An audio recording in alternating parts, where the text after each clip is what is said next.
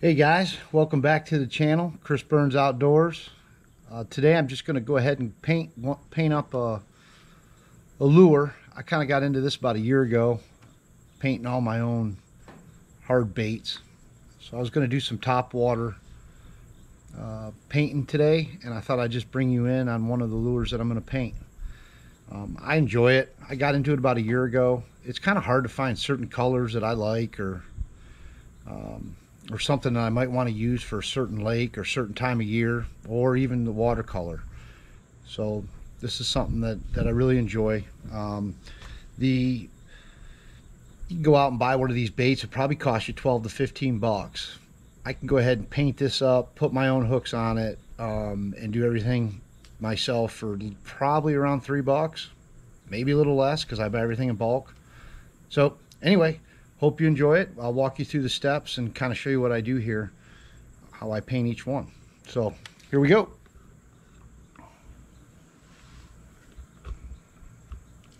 So this is the uh, the table that I kind of use um, for painting and it's got a fan that hooks up to it right here and kind of goes I can put it inside if I want um, and paint inside when it's cold out. And a lot of times I'll paint in the wintertime when I can't fish. So it kind of works out really good.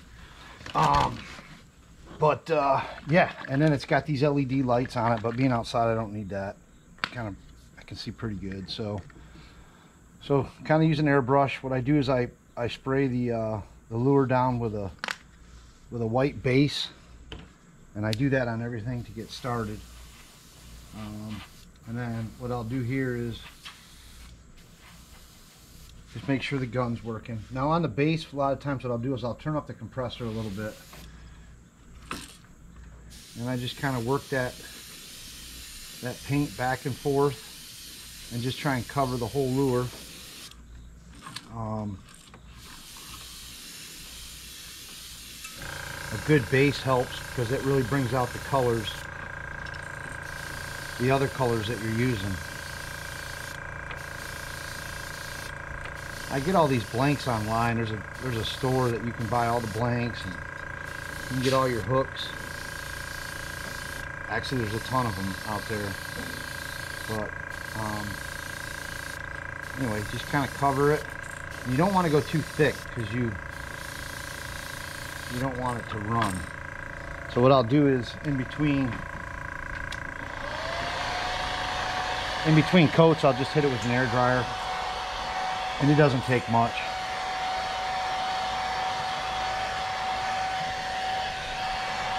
That makes sure that uh, that second coat kind of sticks.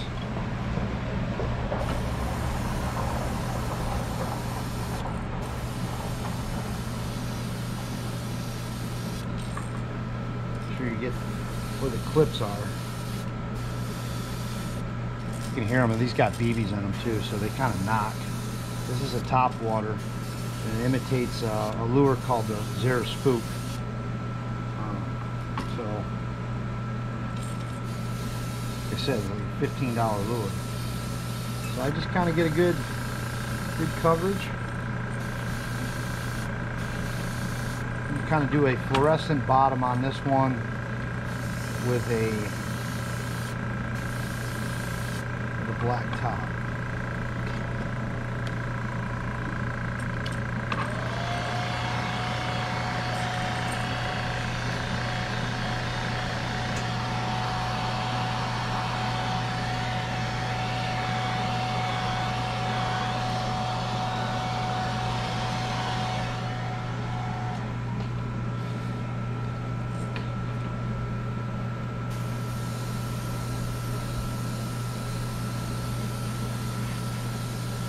I'm just kind of working it back and forth.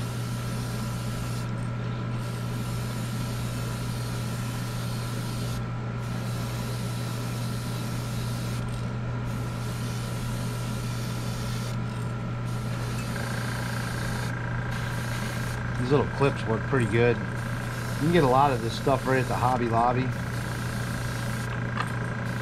I actually got my first set from um, off of Amazon. And it got came with a compressor and pretty much everything I needed. And then over time, I've kind of kind of made it my own with little things that I've found that are easier or work a little better. One was the gun. Amazon's gun was okay, but this Iwata, you can't beat it. It's just a really good, durable airbrush gun. I'm fairly new to it. Um, you know, fairly new to airbrushing. Okay, so once we get the base in there, I just kind of clean my gun out a little bit. Um, and all this is is just water mixed with uh, like a Windex. It's got to be ammonia free. And just kind of clean that out a little bit.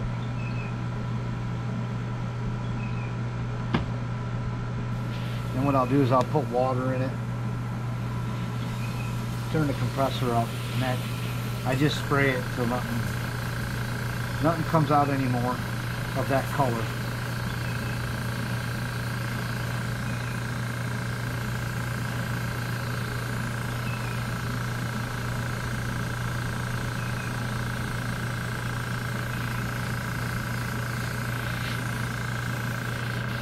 one thing I have learned is to make sure when you're done using your gun to really clean it out good. Otherwise, that needle is so thin that that paint will just just stick right in there. I normally have a, a better little squeeze bottle, but I couldn't find it. Actually, I know what happened. It cracked, so I had to get a new one. Okay, so now we're gonna go with the fluorescent yellow. Um, and the fish that I'm going after here really love this color. I don't know why, but they do. You don't need a whole lot either, guys. But once I put the color in there, I just kind of spray that until it comes out and know that the other color is completely out of the gun. Then I just kind of work that back and forth just like I did the base. It's just really no different. But here we want this belly to stick. So we're going to go heavy, heavy on the belly. I've also got a ton of designs and stuff that I do. And maybe on another video I'll show you guys how I do that. How I put patterns in on them. Now even though I'm going to cover this top with black paint, um, I'll still I'll still cover everything just so I know I don't have any missed spots. So I'll hit everything with a fluorescent, but really light on top. And there again, just drying it. That way they don't have to sit here and wait in between coats.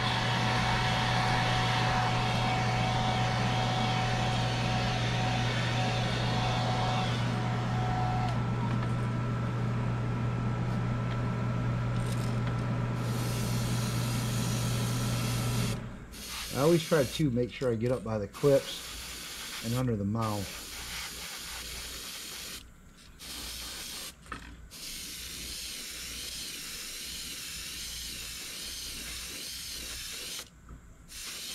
See how it's starting to brighten up a little bit. When you hear it spit like that, I don't know if you heard that or not, that means that the paint's getting a little low, so we'll Put a couple more drops in there just to be safe. What it'll do is it'll splatter. And then you'll have little bubbles on your on your lure and it'll look it'll look pretty bad.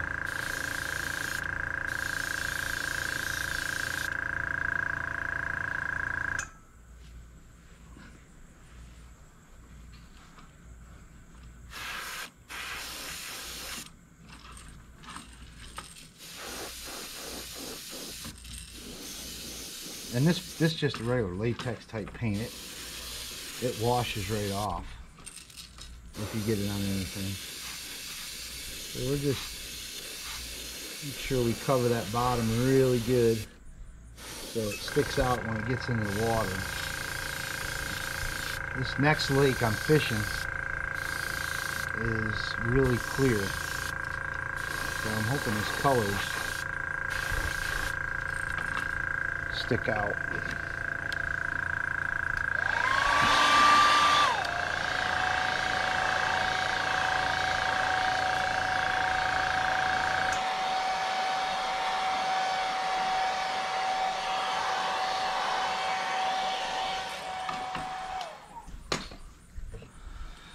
All right, put more on the sides here. Bring that fluorescent up. So spit a little bit. I think. Go a little bit more, guys. You see, I kind of like adding to it, to my gun instead of putting a bunch in there. I'll just put a couple more drops in at a time. Only takes a second.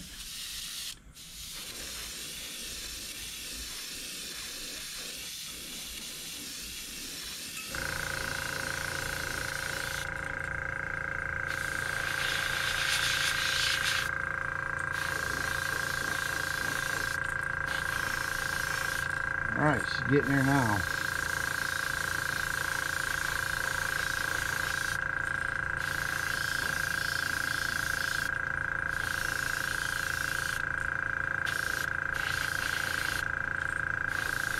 Now, when you turn the compressor down, that'll uh, that'll make sure you don't have to, you know, won't splatter out as much, or you can control it a little bit better.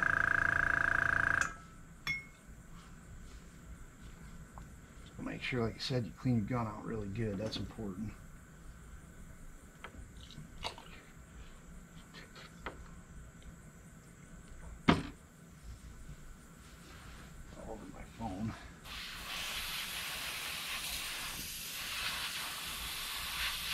And next we're going to go with uh, with a black top.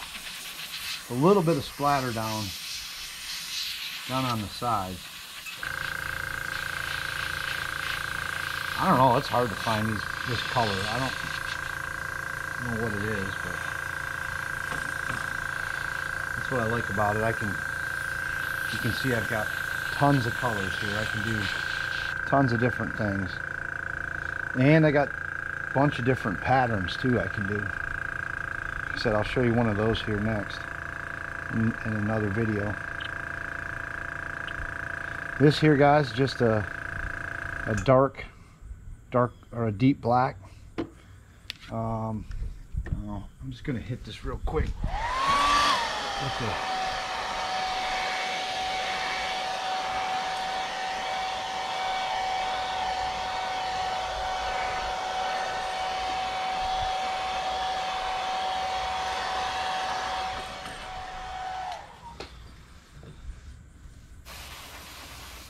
Okay, I'm going to turn this down even a little bit more on the compressor for this black because it'll come out pretty quick. And I just kind of work that back first.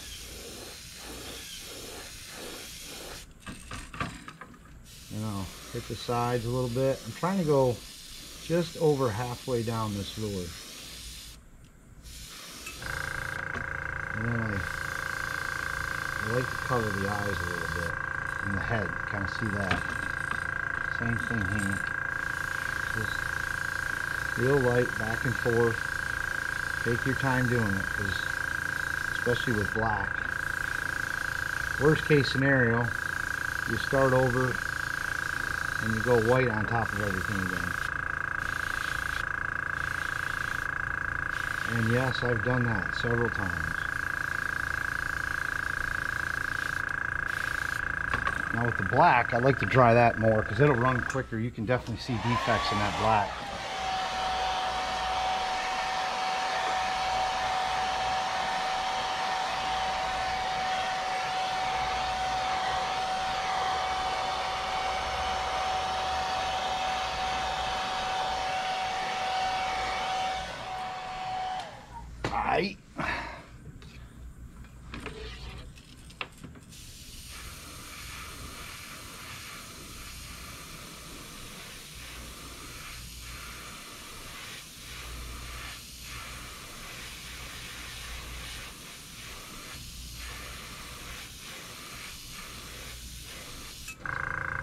Kind of what I'm looking for there.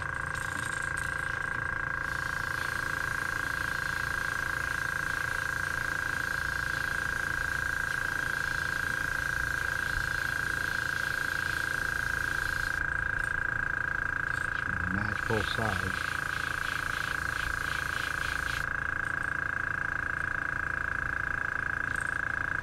Pretty close, guys. Maybe a little bit right here. I'll hit the back one time.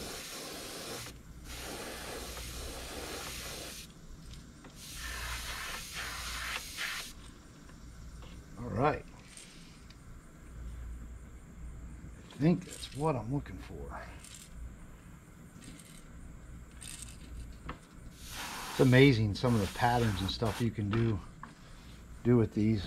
A lot of the, the stuff I use for patterns is something I just get in the fabric section of uh, Joann Fabrics or something like that. my wife ever wants to go there, I, I have no problem driving her there. okay, so that's kind of what the colors look like. Now what we do is we just gonna put a little water in there and clean this gun out a little bit, especially with that black, guys. Then the next step is we dip it. Or I'm sorry, we put the eyes on it. I'm gonna let that water sit there. And um, so I've got a ton of different eyes um, that I can choose from. And you can get these on Amazon or whatever, but probably gonna go with these red ones right here. So for the eyes,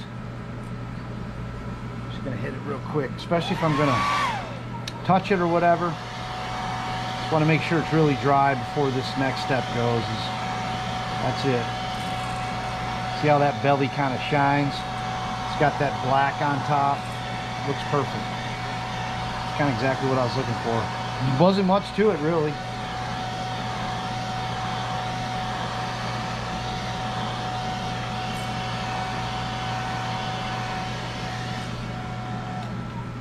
Okay, so now I like to tip that thing down like that. And then uh, these eyes are all different sizes, so you can kind of pick the size that you want for that pocket. And that right there is about the right size.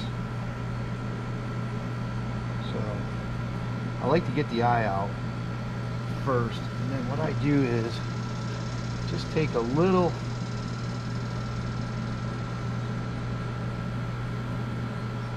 shot of uh, super glue. And that helps hold that eye.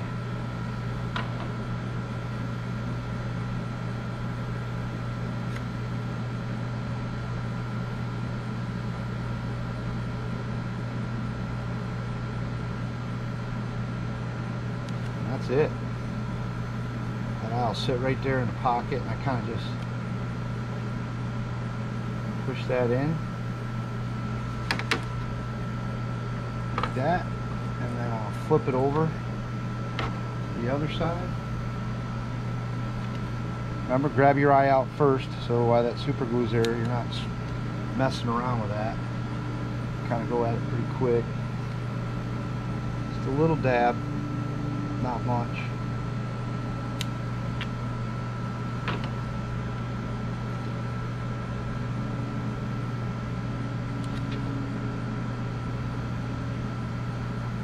That's it.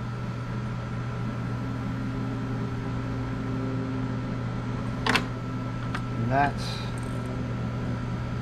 kind of the eyes. Now this Zara Spook is a top water, so what this does is it kind of skirts across the water. Okay, so then the next step, guys, is we go over here and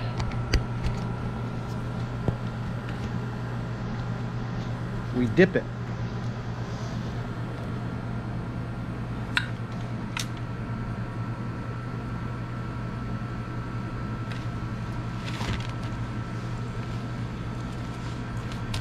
I got these little copper wires and I go through the hooks up top and I create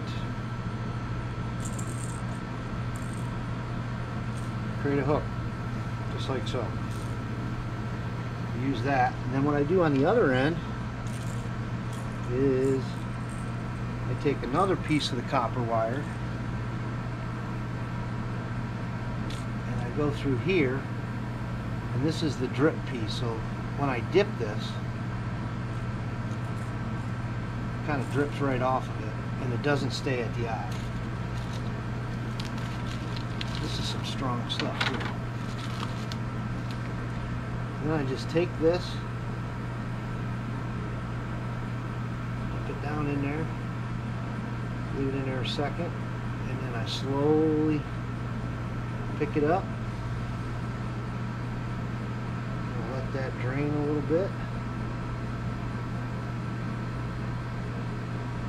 That's kind of it guys. That's pretty much.